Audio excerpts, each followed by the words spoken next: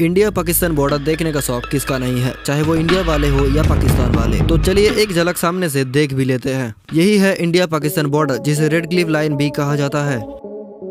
ये आगे जो छोटा सा मिलिट्री बेस आप देख रहे हो, वो है पाकिस्तानी मिलिट्री बेस। और इधर जो मिलिट्री बेस आप देख रहे हो, यह है इंडियन मिलिट्री बेस। साइड में आप जो बड़े बड़े खंबे देख रहे हो, वो है रेडर, जो कुछ अनहोनी घटना घटने बस सिग्नल देता है। सामने से इस बॉर्डर को देखने का एहसास कुछ और ही है।